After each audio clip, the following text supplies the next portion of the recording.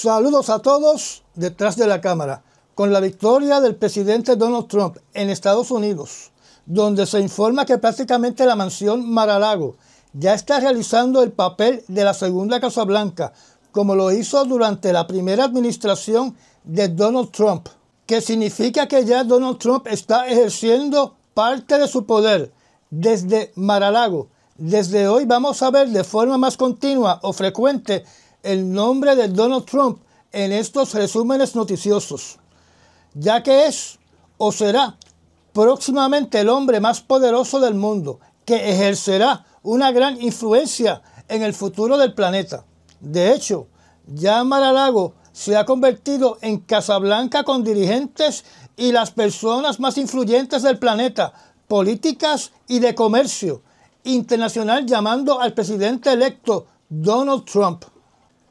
Comencemos con las noticias seleccionadas para el día de hoy. La ciudad de Ámsterdam ha prohibido las manifestaciones en su país durante un periodo de tres días a partir del día de ayer viernes después de varios incidentes contra fanáticos del equipo de Israel de nacionalidad israelita. Me parece que para complacer a Israel el gobierno clasificó estos ataques como antisemitas, o sea, ataques contra la religión judía. Se alega que por lo menos hay cinco personas que fueron atendidas en un hospital y decenas de arrestos. Recordemos que hay una gran diferencia entre antisemita y antisionista, porque una cosa es una acción de odio contra una religión y otra cosa es una acción de odio contra un gobierno o una filosofía de gobierno.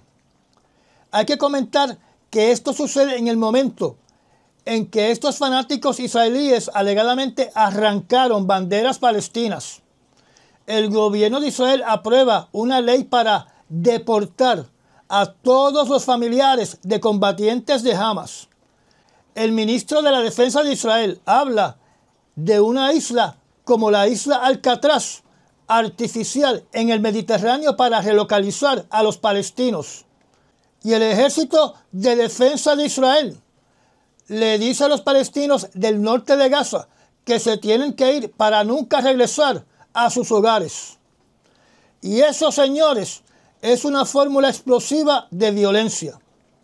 Yo pensando como los locos, de forma irracional, supongo que muchos boricuas aquí en Puerto Rico actuarían de la misma manera si se enteran que Estados Unidos quiere relocalizar a todos los puertorriqueños en la isla de Vieques y que en la isla de Puerto Rico solo habiten americanos rubios de ojos azules. Y eso me recuerda que Estados Unidos hizo eso en islas del Pacífico expulsando a todos los indígenas para usar sus islas como le dio la gana a Tío Sam. Esas son las famosas islas que se utilizaron para las pruebas nucleares de los Estados Unidos. En la historia hay varios ejemplos de estas migraciones forzadas por un gobierno. Ataques israelíes matan a 27 palestinos. El ejército dice que no dejará que los residentes del norte de Gaza regresen a sus hogares. Como indiqué en la noticia anterior, en el norte de Gaza las Fuerzas Armadas de Israel están dando instrucciones a los palestinos para que abandonen el norte de Gaza permanentemente, que es evidencia de que hay una limpieza étnica en esa zona de la franja de Gaza, que ya comenzó.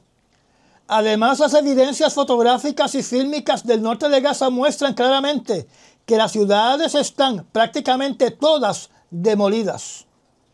Según la Organización Mundial de la Salud, más de 14.000 personas necesitan urgentemente atención médica, donde esta organización solamente ha podido relocalizar fuera de la franja de Gaza a solo 100 pacientes en estado crítico y que desde que cayó la ciudad de Rafah y se cerró la frontera con Egipto, menos de 300 pacientes en estado de gravedad han podido ser transferidos a hospitales fuera de la franja de Gaza. Yo supongo que la fórmula de destruir hospitales más eliminar a los médicos es igual o es un componente de una limpieza étnica. Y ya que hablamos de Rafah, se dice que en las últimas 24 horas un ataque de Israel le quitó la vida a 27 palestinos, incluyendo a tres niños. Israel aprueba ley para deportar a familiares de atacantes. Expertos esperan que sea anulada. Aparentemente se materializó la nueva ley propulsada por el partido de Benjamín Netanyahu que permitirá deportar a los familiares de palestinos hostiles, incluyendo ciudadanos de Israel. Algunas personas piensan que la Corte Suprema de Israel no permitirá que esa nueva ley se ponga en efecto. Esta ley aplica a palestinos que residen en cualquier parte de Israel, que residen dentro de Gaza, que residen en Cisjordania y que hayan tenido conocimiento de cualquier evento de terrorismo, como el ataque del 7 de octubre del año 2023 por Hamas contra los israelíes, o que expresen su apoyo o se identifiquen con Hamas y con actos terroristas. El artículo indica que no está claro cuál va a ser la norma en Cisjordania, donde actualmente Israel conduce una despiadada política de destruir y demoler las casas de los familiares que tengan alguna clase de relación o conexión con Hamas.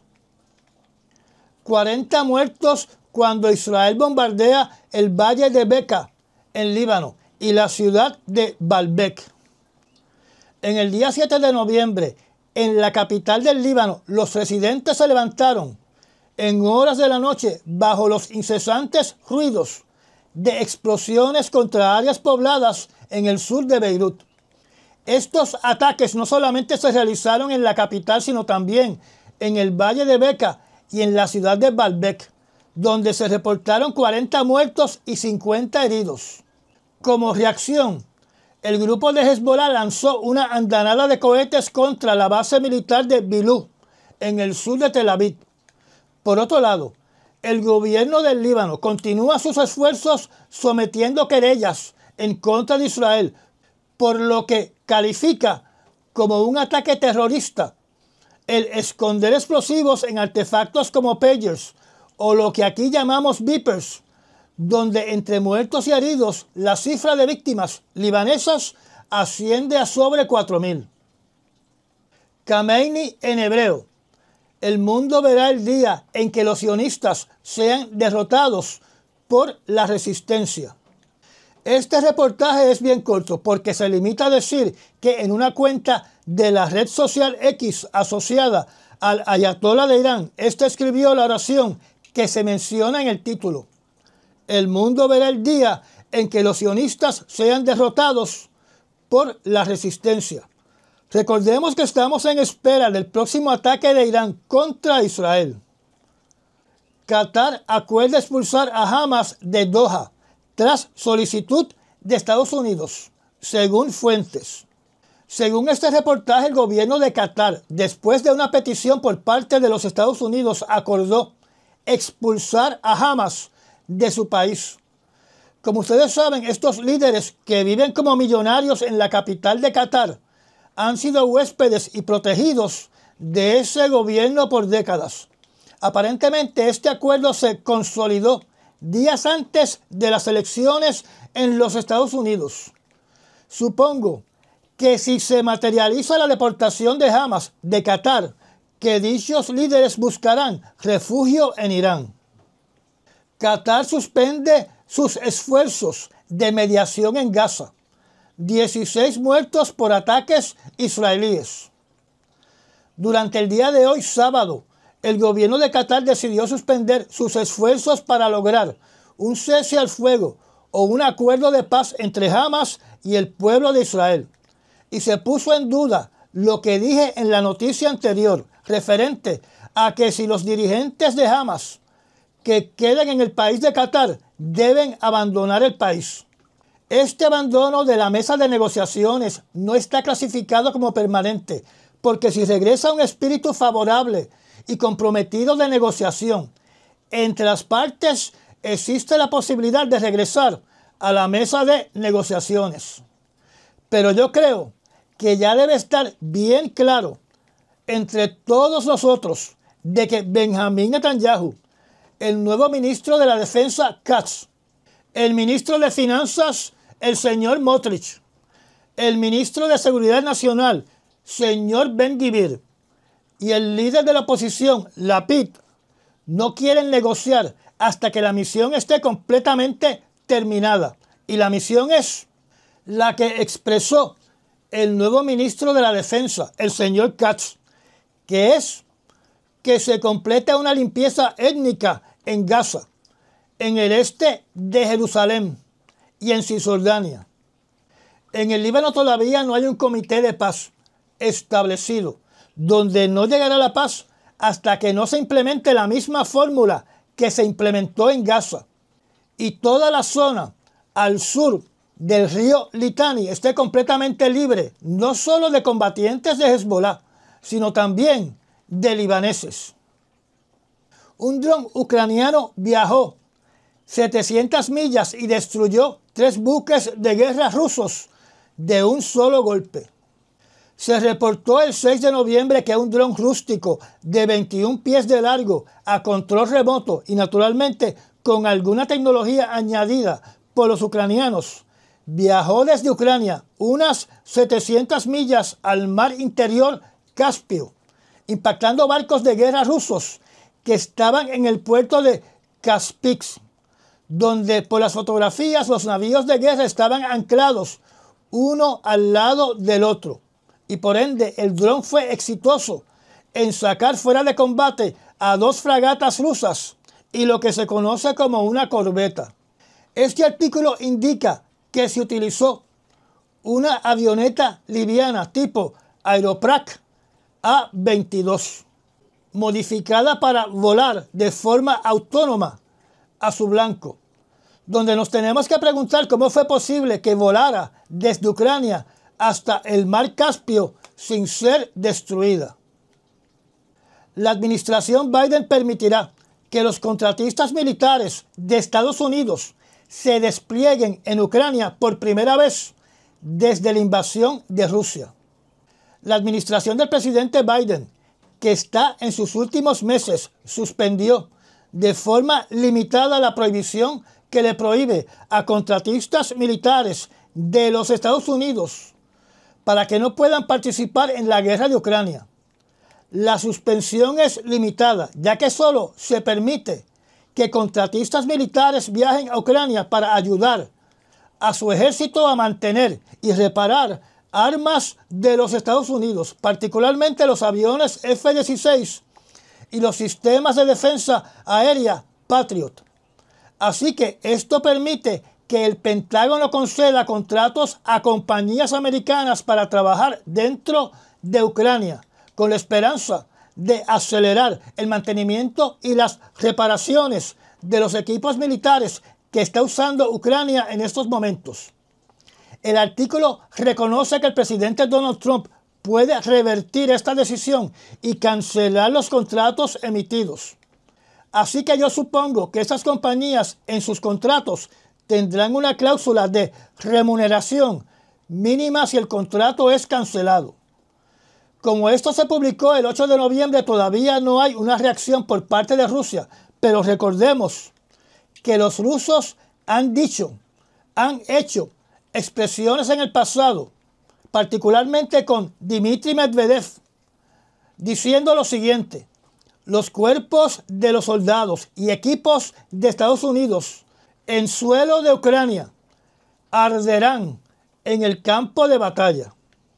Los puertorriqueños recordarán que hace años atrás teníamos aquí en Puerto Rico, en la pista de aterrizaje de Aguadilla, una compañía de mercenarios militares que estaban llevando a cabo una operación de mantenimiento de helicópteros de combate que eran utilizados en la Operación Colombia. Y esta compañía se llamaba DynCorp. Esta compañía también participó en darle mantenimiento a equipo militar de los Estados Unidos en la guerra de Bosnia, donde surgió un escándalo porque empleados de esta compañía estaban envueltos en actos ilegales en el tráfico de muchachas para su explotación sexual. Empresas militares privadas ven demanda en la guerra de Ucrania. Relacionado a la guerra de Ucrania, el portal de noticias BBC informa de que existe una página de internet llamada silentprofessional.org, donde se ponen puestos disponibles para trabajar en posiciones de seguridad de alto riesgo y lo que conocemos como mercenarios o contratistas militares, donde aparece que se busca ex militares que hablen varios idiomas, que estén dispuestos a introducirse de incógnito en Ucrania para ayudar a rescatar familias que están expuestas a perder sus vidas debido a la guerra en Ucrania. El salario de estos individuos es de mil a dos mil dólares diarios, más bonificaciones. El artículo dice que cada vez hay más oportunidades para mercenarios en Ucrania, incluyendo desde misiones de alto riesgo hasta tareas de logística o de transporte de mercancía. Rusia encarcela a soldados que mataron a una familia entera en Ucrania. Este artículo publicado por BBC, pero originalmente publicado en el medio noticioso ruso TASS, dice que una corte rusa condenó a dos soldados rusos por sus actos cometidos en Ucrania, donde la condena fue cadena perpetua.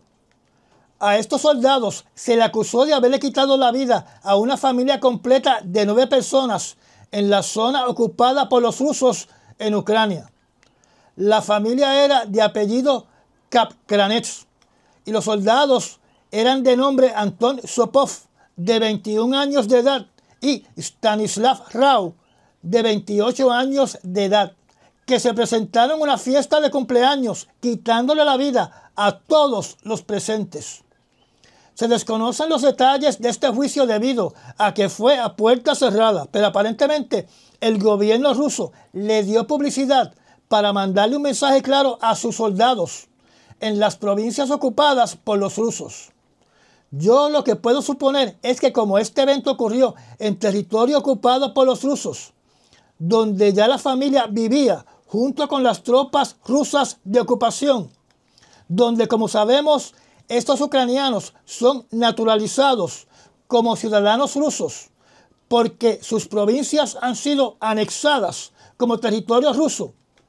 Así que por ende estos rusos asesinaron a una familia rusa. Guerra en Ucrania. Soldados enviados por Corea del Norte a Rusia intentan huir del país. El título de esa noticia publicada por Daily Digest podría ser engañoso porque no se sustenta con evidencias que se puedan comprobar y ningún periódico ha indicado que ha podido verificar la veracidad de lo que este artículo plantea.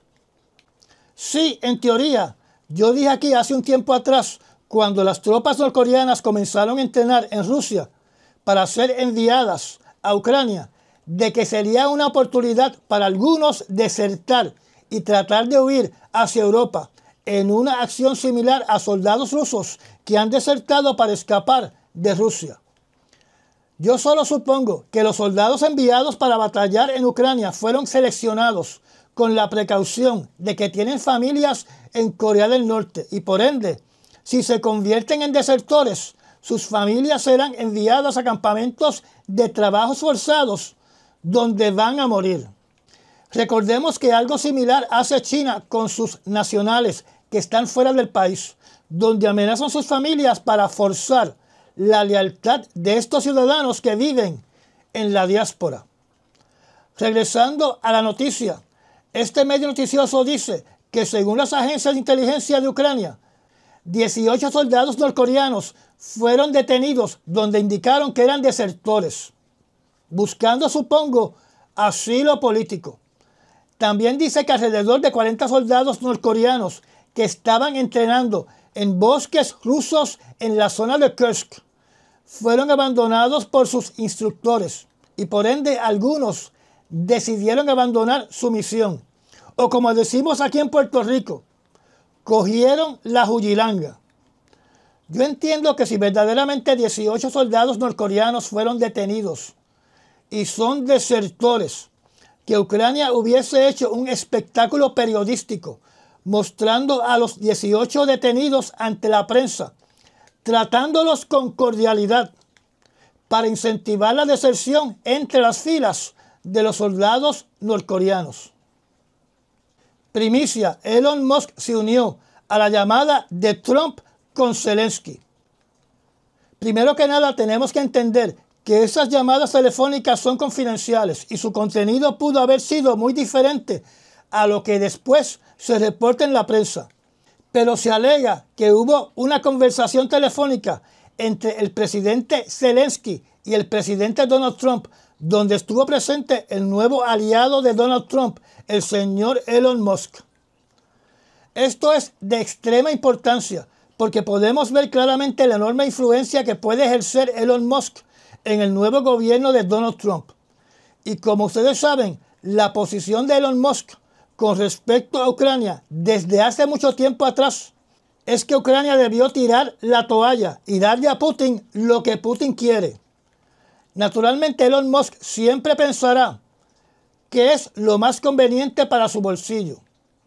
Se alega que Elon Musk invirtió en la campaña de Donald Trump más de 100 millones de dólares. Y con el triunfo de Donald Trump, su fortuna subió a más de 300 billones de dólares. O sea, invirtió 100 millones y obtuvo 100 billones. Y por eso es un genio de las finanzas. Se alega que la conversación con el presidente de Ucrania fue amistosa y productiva, algo que yo dudo mucho. Acto de guerra. La administración Biden bajo presión para responder al complot de Irán para matar a Trump.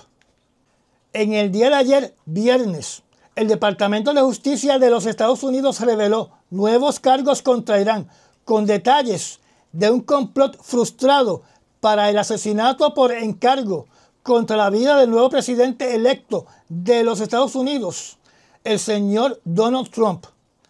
Este magnicidio alegadamente fue ordenado por el cuerpo de la Guardia Revolucionaria Islámica de Irán en el mes de septiembre, donde le ordenó a uno de sus agentes que se concentrara en vigilar y preparar un plan para quitarle la vida al presidente Trump antes de las elecciones del 5 de noviembre.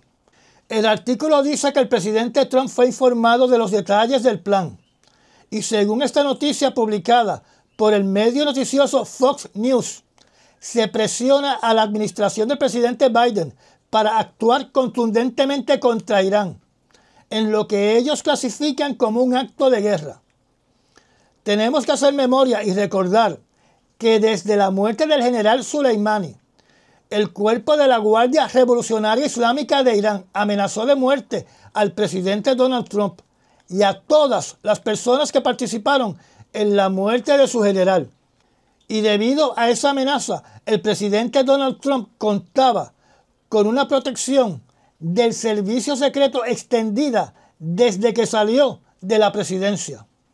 Durante el día de hoy, sábado, Irán asegura de que las acusaciones de Estados Unidos de que su país está implicado en un complot para asesinar al presidente electo Donald Trump son totalmente falsas, totalmente infundadas y que el país de Irán rechaza todas las acusaciones hechas por el Departamento de Justicia de los Estados Unidos. Manipulación norcoreana de GPS afectó a decenas de aviones y barcos, según Corea del Sur. Según esta noticia se alega que Corea del Norte causó una interrupción durante el día de hoy sábado en el sistema de GPS que le da servicio a Corea del Sur, donde este ataque provino, según la noticia, de áreas fronterizas y que el ataque electromagnético comenzó durante el día de ayer afectando un número no especificado de vuelos comerciales y operaciones marítimas, según le informa el ejército de Corea del Sur.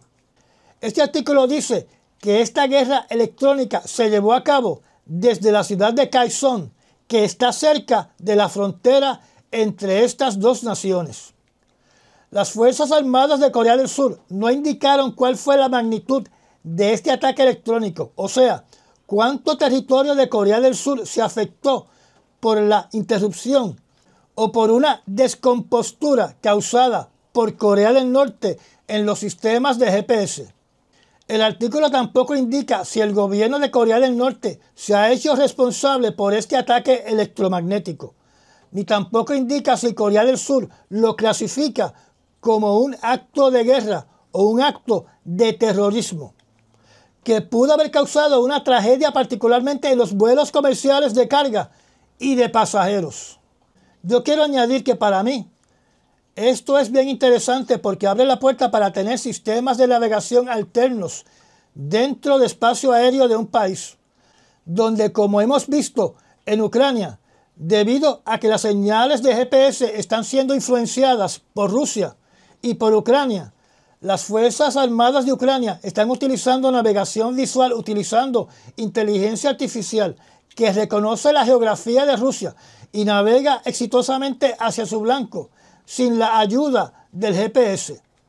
Además, pensando en el sistema LORAN utilizado antes de que existiera el GPS satelital, pienso que de igual manera que el LORAN, las torres de celulares pueden emitir una señal que se puede cuadricular para navegar dentro de un país sin depender del GPS, por lo menos en lo referente a los navíos estos barcos que navegan por los mares. Yo entiendo que todavía utilizan sextantes y receptores de radio con antenas direccionales para tener un sistema alterno de navegación en el caso de que el GPS deje de funcionar.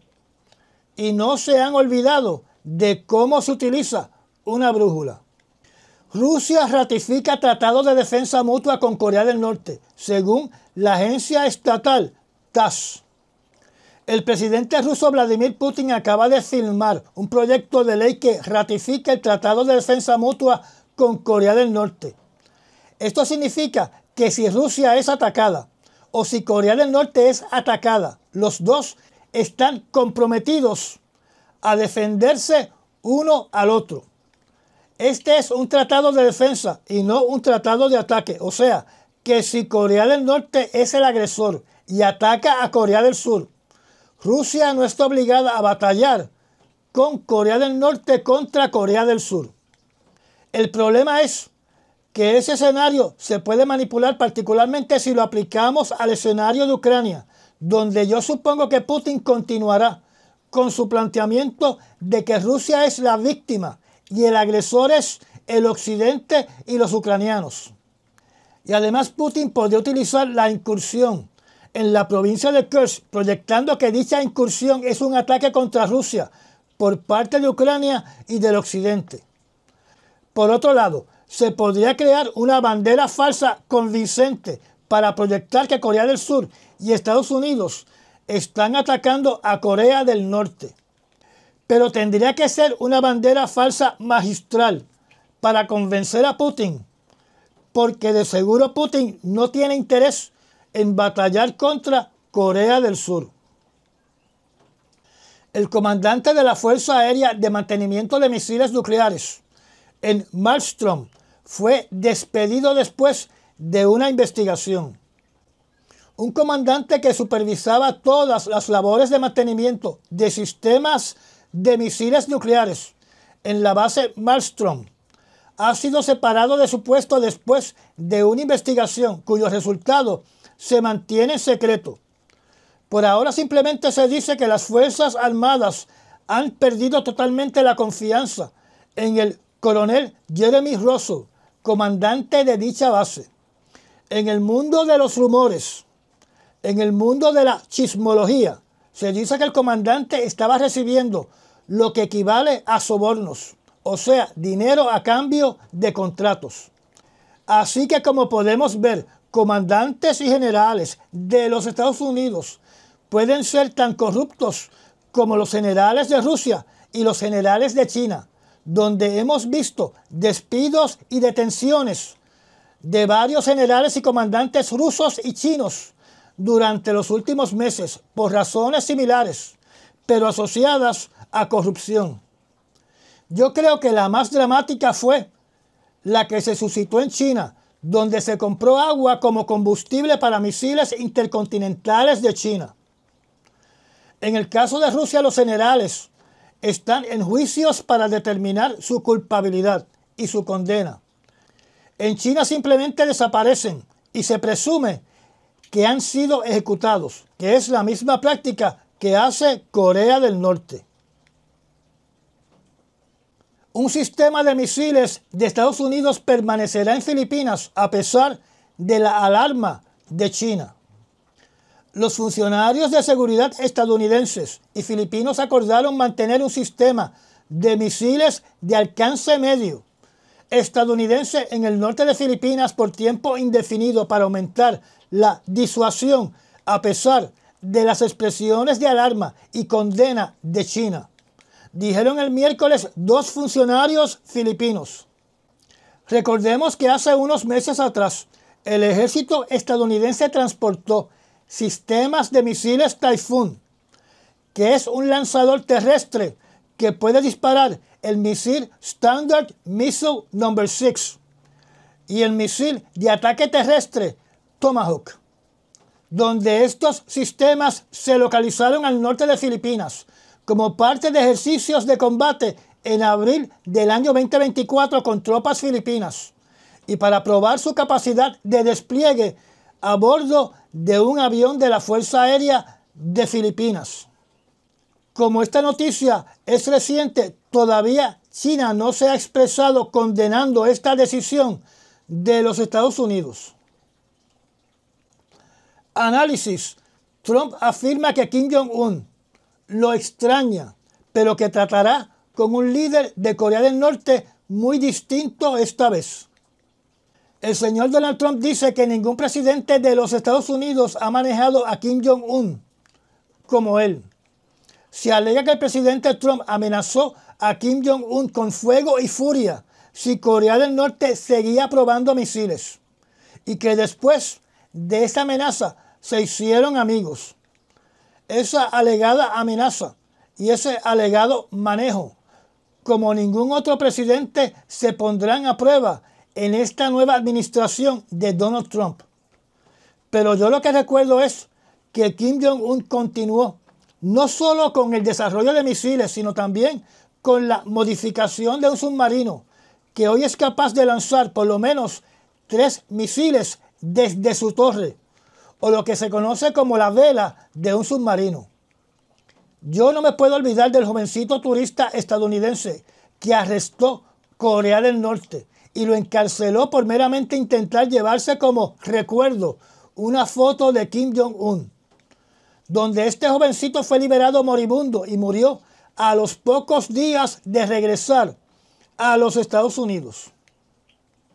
El fiscal especial Jack Smith da el primer paso para detener el procesamiento de Donald Trump. El portal de noticias político informa que el caso criminal sobre los documentos clasificados y secretos que tenía el presidente Donald Trump en su residencia de Mar-a-Lago está en un proceso donde el fiscal Smith está tomando los primeros pasos para asegurar la evidencia y posponer indefinidamente todo itinerario de fechas límites relacionados a este proceso legal. Este caso en estos momentos se encuentra en la Corte de Apelaciones en una solicitud de desestimar la decisión de la juez Cannon, hecha hace unas semanas atrás, donde esta juez dijo que este caso contra Donald Trump no tiene méritos. Suspender toda decisión y todo itinerario relacionado contra los procesos legales de Trump se está haciendo en todos los casos legales que tiene activo en su contra, ya que un presidente durante su término no puede ser procesado. Así que en teoría todos estos casos tienen que esperar hasta que termine el próximo cuatrenio de Donald Trump. Naturalmente todos los analistas políticos y analistas legales dicen que el presidente Trump le dará una orden directa a su secretario de justicia de desvanecer todo caso en su contra y tal vez la evidencia. Y ya que la juez Cannon desestimó el caso de los documentos clasificados y secretos que tenía Donald Trump en su mansión de Maralago, se habla que en agradecimiento la juez Cannon tendrá la jefatura del Departamento de Justicia. Pero hay un detalle, que eso inmediatamente la descualifica para continuar siendo la juez. En ese caso contra Donald Trump, en el momento que el caso se reactive. Si Trump pone a Robert F. Kennedy Jr.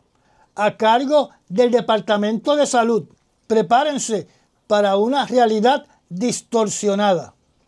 Este artículo habla de la persona de Robert F. Kennedy Jr., que ayudó en la campaña electoral de Donald Trump, donde alegadamente en agradecimiento el nuevo presidente electo le va a conceder a Kennedy una posición influyente dentro del Departamento de Salud de los Estados Unidos. Según el artículo, Kennedy se aseguraría que Estados Unidos otra vez sea una nación saludable, estableciendo la política nacional de salud, de alimentación y qué medicamentos se pueden administrar en los Estados Unidos. O sea, qué medicamentos se pueden consumir, se pueden recetar en los Estados Unidos. El señor Kennedy se clasifica como un adicto y un propulsor de teorías de conspiración. No es médico ni tiene un grado en salud, es abogado. Yo me imagino que la primera vacuna que se va a prohibir en los Estados Unidos es toda vacuna relacionada al COVID-19. Elon Musk serviría como secretario de Dodge bajo el gobierno de Trump. Este reportaje alega que el señor Elon Musk estará en el gabinete del presidente de Donald Trump en una nueva posición como secretario del Departamento de Eficiencia Gubernamental, llamado Dodge, donde alegadamente esa secretaría va a identificar cuál es el mínimo de trabajadores que pueden manejar el gobierno federal de una forma eficiente y más productiva. Alegadamente a este exceso de empleados que van a ser despedidos se le va a dar una mesada equivalente a dos años de trabajo. Esto naturalmente va en contra del proyecto 2025, que lo que contempla es eliminar más o menos 20.000 empleos para ser sustituidos por personas leales al presidente Trump. O sea, que si me pongo a pensar como los locos, el plan del proyecto 2025 es colocar un deep state leal a Donald Trump dentro del gobierno de los Estados Unidos. A diferencia de una empresa privada, el gobierno es un foco de empleo que ayuda a reducir el desempleo de un país.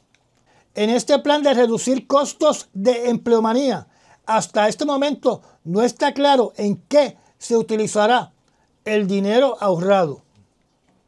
Por otro lado, otro artículo habla de que Elon Musk en agradecimiento por la participación en la campaña de reelección de Donald Trump, está solicitando que empleados de SpaceX sean localizados en el Departamento de la Defensa para favorecer a SpaceX en contratos gubernamentales y para tener protección en contra de los reguladores, donde supongo que estamos hablando de la FAA, que le ha dado dolores de cabeza al señor Elon Musk, porque la FAA es la que certifica si Elon Musk puede disparar un cohete al espacio y cuándo lo puede disparar. Desforestación en la Amazonia brasileña cae casi un 31% respecto al año anterior. Por fin tenemos una buena noticia. Se informa que la pérdida de los bosques del Amazonas de Brasil disminuyó un 30,6% comparado al año anterior, que representa la disminución más grande en los últimos nueve años. Esas son buenas noticias, pese a que por otro lado se informa que los 6.288 kilómetros cuadrados que se perdieron en los últimos 12 meses es equivalente al tamaño del estado de Delaware en los Estados Unidos. No obstante, se considera un gran logro para el presidente Luis Ignacio Lula da Silva, comparado con el presidente anterior Bolsonaro, cuya deforestación del bosque del Amazonas fue la más alta en los últimos 15 años. Y ya llegamos al final de esta charla. Gracias a los miembros patrocinadores de la zona privada del canal y a las personas que también patrocinan este canal mediante los Super Thanks. Si no está suscrito, lo invito a que se suscriba y apriete la campanita de notificaciones. Recomiende este canal y comparta nuestros videos. Me da un like y nos vemos en el próximo resumen noticioso. Hasta mañana.